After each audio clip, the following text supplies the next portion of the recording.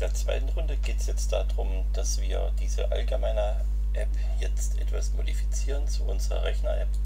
Das heißt, ich sage, meine Anwendung ist eine Rechner-App und muss dann vorher sagen, was ist die Rechner-App. Class Rechner-App ist eine App und die kann noch gar nichts. Und deswegen schreibe ich hier mal Pass rein, speichere das ab und wenn ich das jetzt starte, dann habe ich hier oben schon mal Rechner stehen. Das ist schon mal ganz nett. Aber das ist noch nicht allzu viel. Also werde ich jetzt die Oberfläche beschreiben, indem ich ein neues Dokument anlege im gleichen Verzeichnis. Das heißt jetzt rechner.kv und ist eine Datei, die die Oberfläche beschreibt. Ich öffne die wieder und äh, jetzt rein, ich habe ein Box-Layout.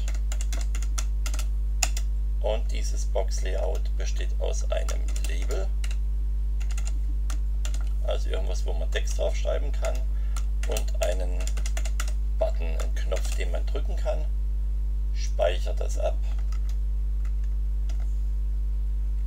Und starte das Programm neu. Und jetzt habe ich diese beiden Sachen da das ist das Label, wenn ich da draufklicke, dann passiert was und hier passiert gar nichts.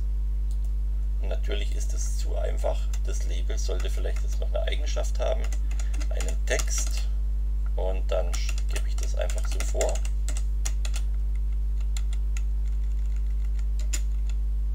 Und bei dem Button braucht man auch einen Text. Und da es ein Rechner werden soll, wäre doch eine vernünftige Sache, hier per Rechner hinzuschreiben. Ich speichere das ab, starte und habe hier schon mal diese beiden Buttons da und damit habe ich schon einen Rechner, der zumindest was anzeigt und der auch die Möglichkeit etwas zu tun vorsieht.